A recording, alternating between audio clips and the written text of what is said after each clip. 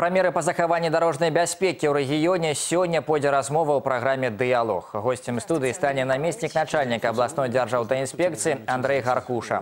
Глядзіце дыялог у прамым эфіры на тэлеканале Беларусь-4 сёння ў 18:55. гадзін 55 хвілін.